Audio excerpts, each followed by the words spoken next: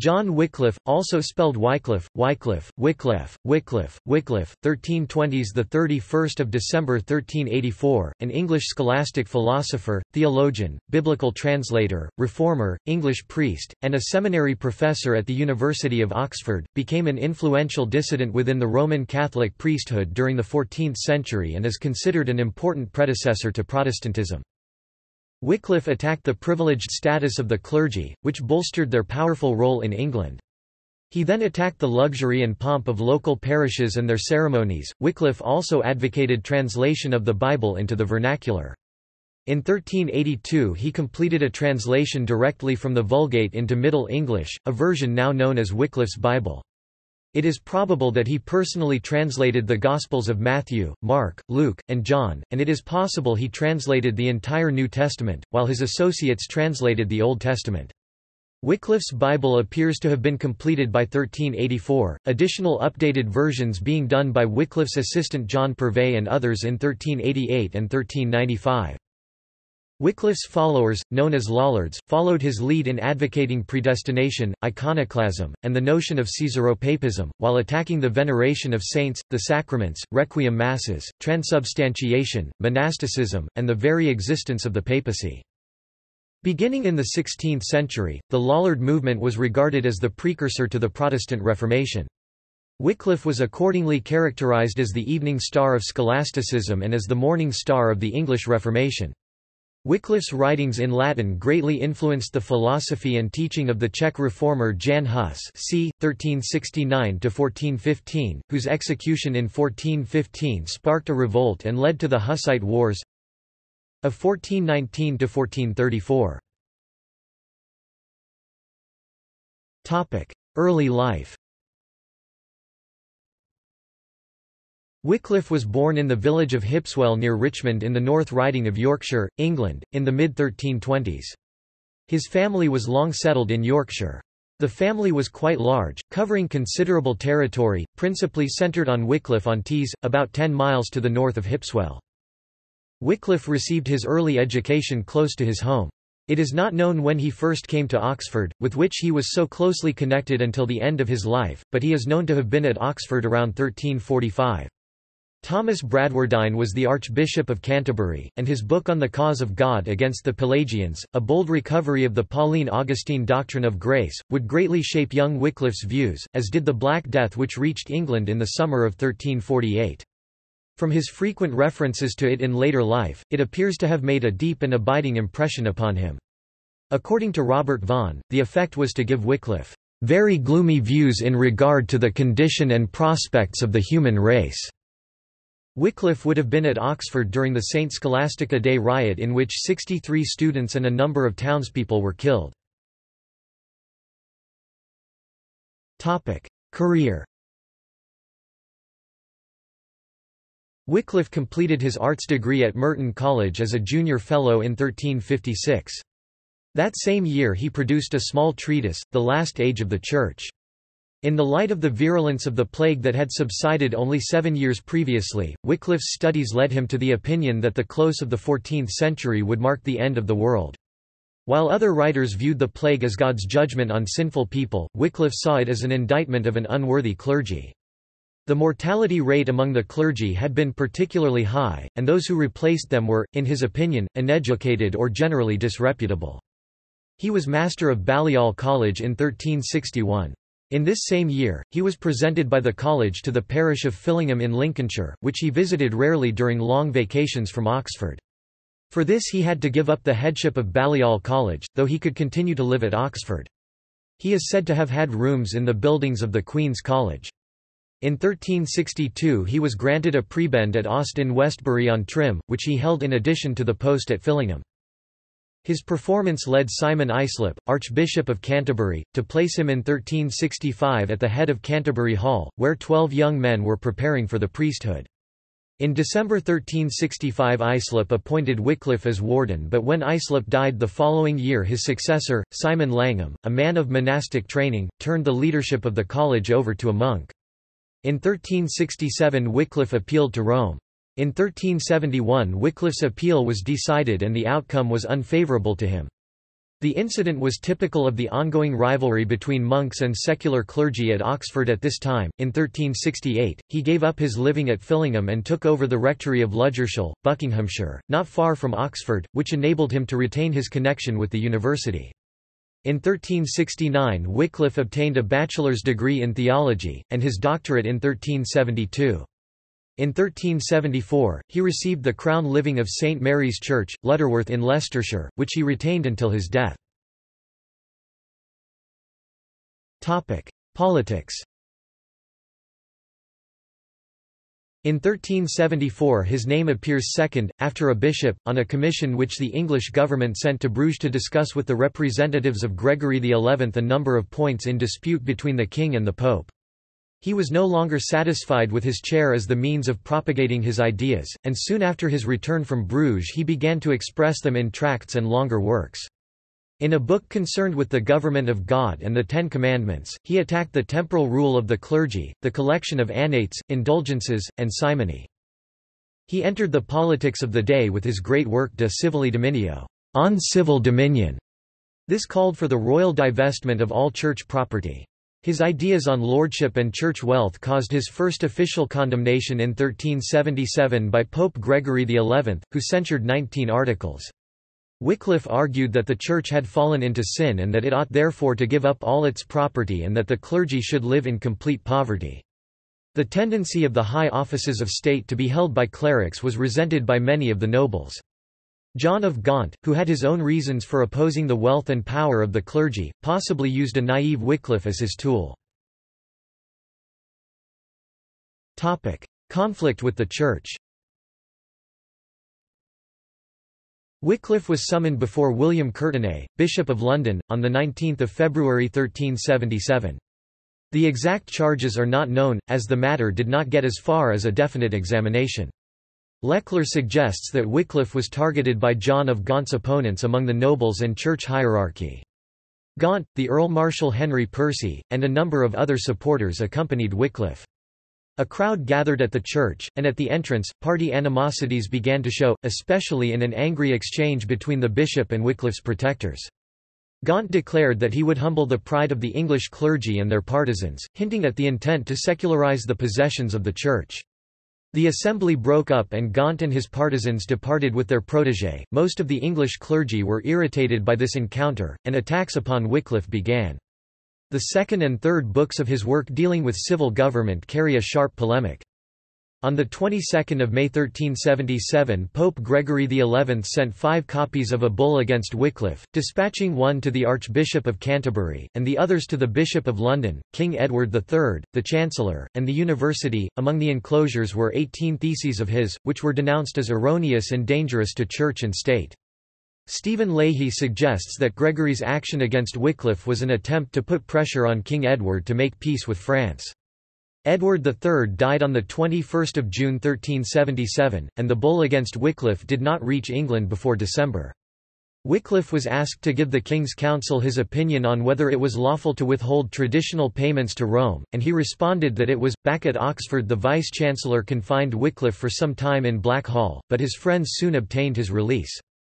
In March 1378, he was summoned to appear at Lambeth Palace to defend himself. However, Sir Lewis Clifford entered the chapel and in the name of the Queen Mother Joan of Kent, forbade the bishops to proceed to a definite sentence concerning Wycliffe's conduct or opinions. The bishops, who were divided, satisfied themselves with forbidding him to speak further on the controversy. Wycliffe then wrote his De Incarcerandis Fidelibus, in which he demanded that it should be legal for the excommunicated to appeal to the king and his council against the excommunication. In this writing, he laid open the entire case, in such a way that it was understood by the laity. He wrote his 33 conclusions in Latin and English. The masses, some of the nobility, and his former protector, John of Gaunt, rallied to him. Before any further steps could be taken at Rome, Gregory XI died in 1378. The attacks on Pope Gregory XI grow ever more extreme.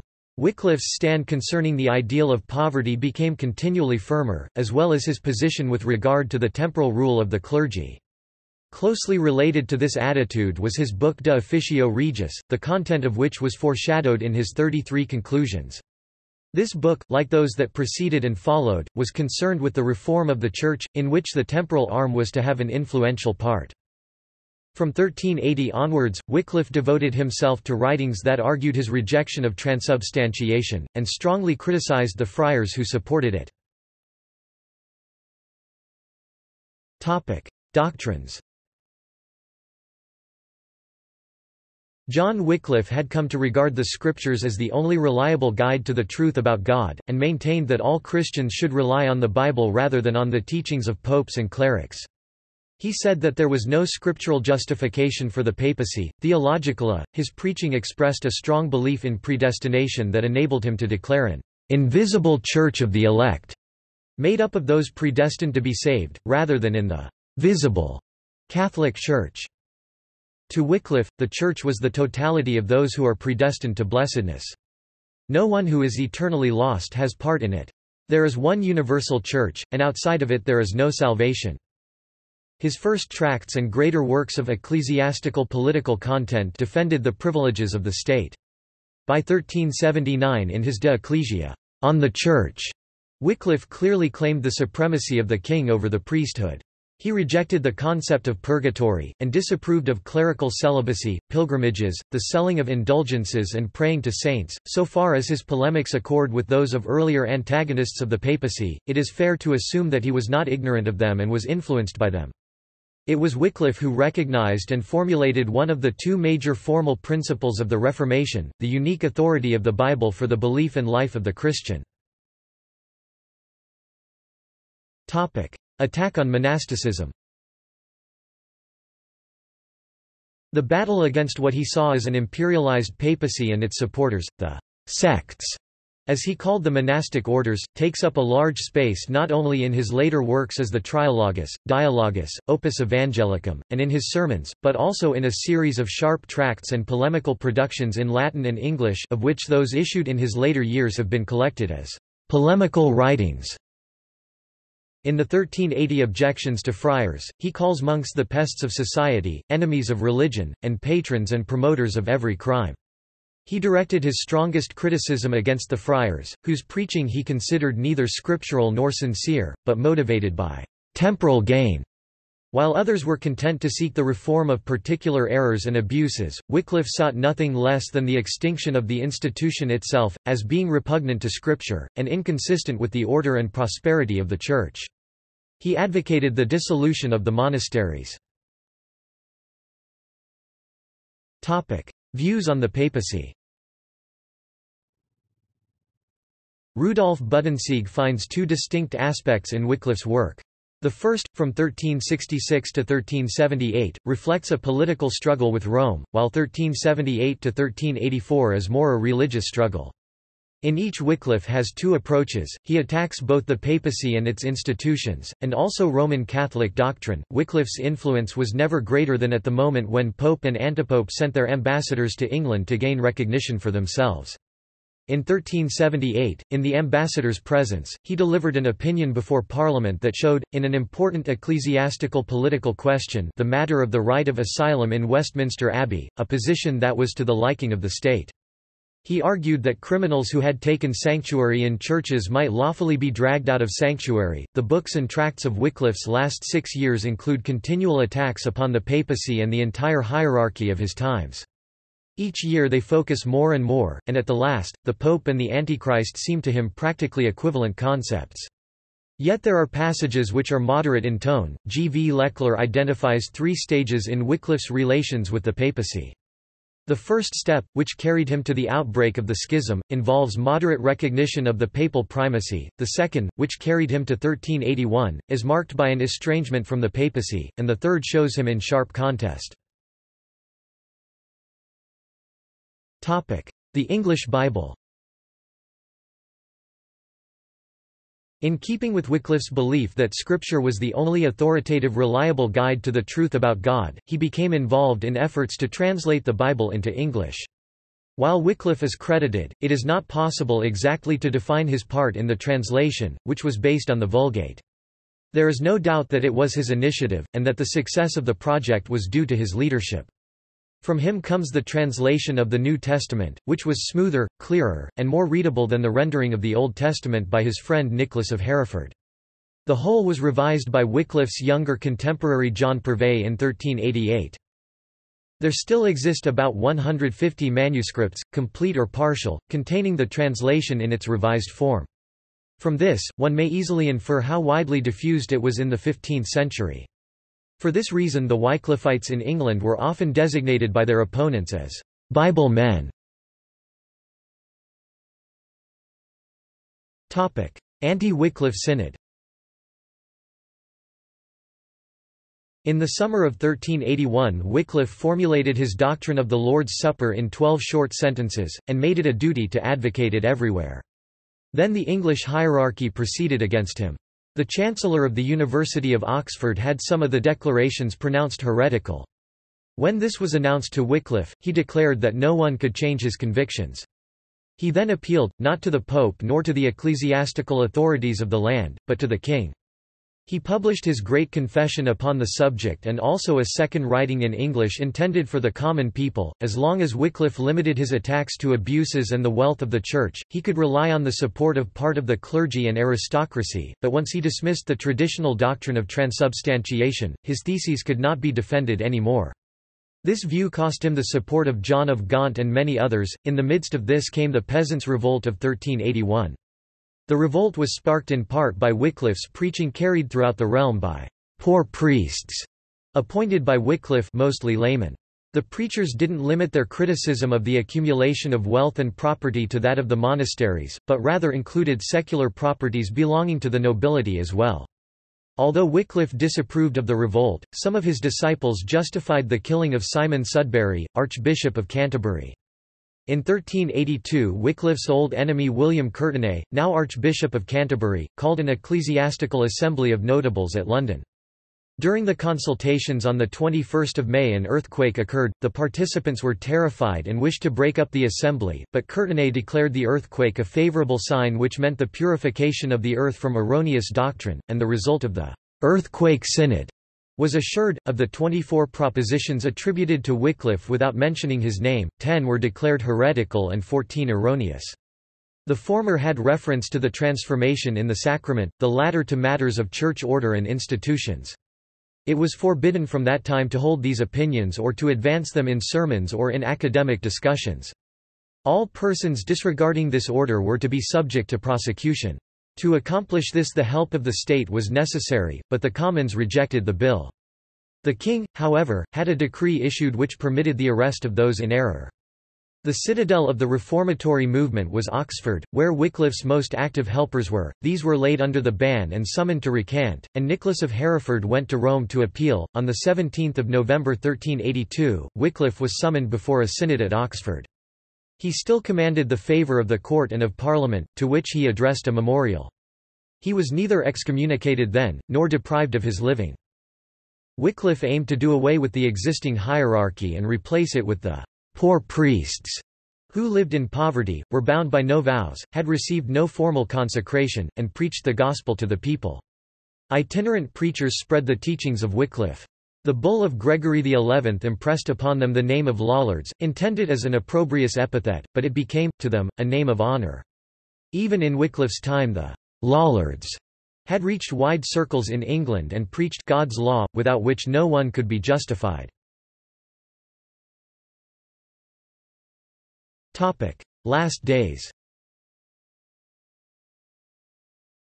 In the years before his death in 1384 he increasingly argued for scriptures as the authoritative center of Christianity, that the claims of the papacy were unhistorical, that monasticism was irredeemably corrupt, and that the moral unworthiness of priests invalidated their office and sacraments. Wycliffe returned to Lutterworth, and sent out tracts against the monks and Urban VI, since the latter, contrary to Wycliffe's hopes, had not turned out to be a reforming pope.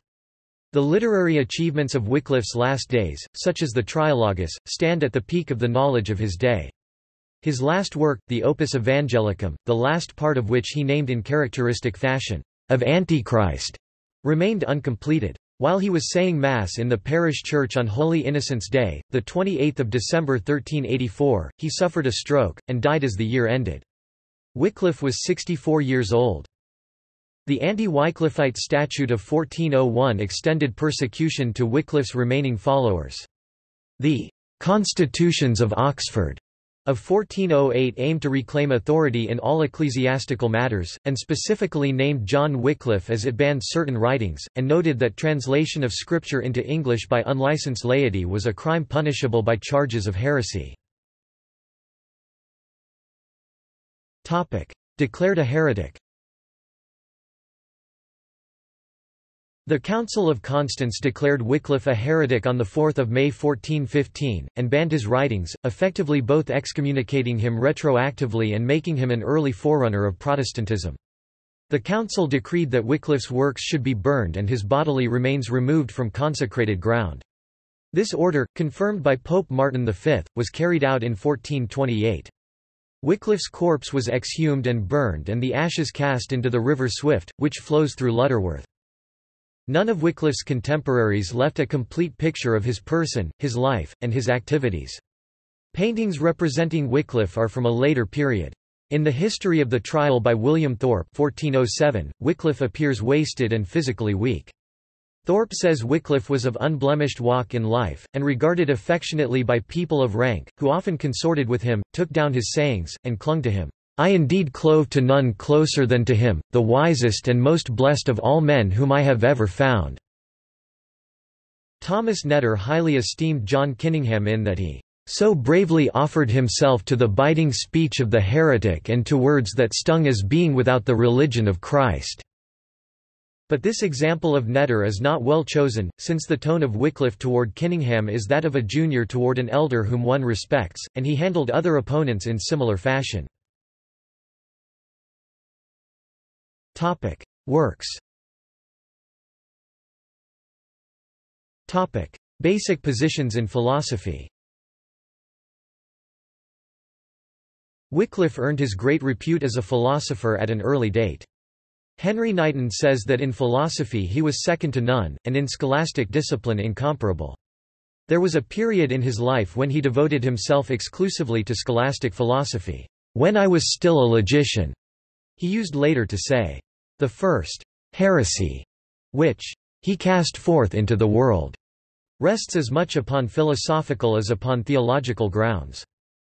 In Plato, knowledge of whom came to Wycliffe through St. Augustine, he saw traces of a knowledge of the Trinity, and he championed the doctrine of ideas as against Aristotle. He said that Democritus, Plato, Augustine, and Grosseteste far outranked Aristotle. In Aristotle he missed the provision for the immortality of the soul, and in his ethics the tendency toward the eternal. He was a close follower of Augustine, so much so that he was called John of Augustine by his pupils. In some of his teachings, as in De Annihilatione, the influence of Thomas Aquinas can be detected. So far as his relations to the philosophers of the Middle Ages are concerned, he held to realism as opposed to the nominalism advanced by William of Ockham, although in questions that had to do with ecclesiastical politics he was related to Ockham and indeed went beyond him. His views are based upon the conviction of the reality of the universal, and he employed realism to avoid dogmatic difficulties. The center of Wycliffe's philosophical system is formed by the doctrine of the prior existence in the thought of God of all things and events. This involves the definiteness of things and especially their number, so that neither their infinity, infinite extension, nor infinite divisibility can be assumed. Space consists of a number of points of space determined from eternity, and time of exactly such a number of moments, and the number of these is known only to the Divine Spirit. Geometrical figures consist of arranged series of points, and enlargement or diminution of these figures rests upon the addition or subtraction of points. Because the existence of these points of space as such, that is, as truly indivisible unities, has its basis in the fact that the points are one with the bodies that fill them, because, therefore, all possible space is coincident with the physical world as in Wycliffe's system, in general, reality and possibility correspond, there can as little be a vacuum as bounding surfaces that are common to different bodies. The assumption of such surfaces impinges, according to Wycliffe, upon the contradictory principle as does the conception of a truly continuous transition of one condition into another. Wycliffe's doctrine of atoms connects itself, therefore, with the doctrine of the composition of time from real moments, but is distinguished by the denial of interspaces as assumed in other systems. From the identity of space and the physical world, and the circular motion of the heavens, Wycliffe deduces the spherical form of the universe. Attitude toward speculation Wycliffe's fundamental principle of the preexistence in thought of all reality involves the most serious obstacle to freedom of the will. The philosopher could assist himself only by the formula that the free will of man was something predetermined of God. He demanded strict dialectical training as the means of distinguishing the true from the false, and asserted that logic or the syllogism furthered the knowledge of Catholic verities. Ignorance of logic was the reason why men misunderstood Scripture, since men overlooked the connection, the distinction between idea and appearance. Wycliffe was not merely conscious of the distinction between theology and philosophy, but his sense of reality led him to pass by scholastic questions. He left aside philosophical discussions that seemed to have no significance for the religious consciousness and those that pertained purely to scholasticism. We concern ourselves with the verities that are, and leave aside the errors which arise from speculation on matters which are not. Veneration Wycliffe is honoured in the Church of England on 31 December, and in the Anglican Church of Canada and in the liturgical calendar of the Episcopal Church USA on 30 October. Legacy Wycliffe was instrumental in the development of a translation of the Bible in English, thus making it accessible to laypeople. He also had a strong influence on Jan Hus. Several institutions are named after him. Wycliffe Global Alliance, an alliance of organizations with the common objective of translating the Bible for every language group that needs it. Wycliffe Hall, Oxford, one of the Church of England's designated evangelical theological colleges. Wycliffe College, Toronto, a graduate theological school federated with the University of Toronto. Wycliffe College, Gloucestershire, an English independent, private day and boarding school topic See also William Tyndale Ecclesia Regimen General Prologue of the Wycliffe Bible Lollardy topic Notes topic Sources Edgar, Robert 2008. Civilizations Past and Present, 1 12th ed. Pearson Education. pp. 434–435. Hudson, Anne, Kenny, Anthony 2004. Wycliffe, John D. 1384. Oxford Dictionary of National Biography online ed. Oxford University Press. doi 10.1093 ref. ODNB 30122 subscription or UK public library membership required. Topic further reading Borky Elmer. John Wycliffe's Discourse on Dominion in Community Leiden Brill 2007 Studies in the History of Christian Traditions 139 Fountain David John Wycliffe, The Dawn of the Reformation Mayflower Christian Publications, 1984 ISBN 978-0907821021. Hudson, Anne, and Anthony Kenny.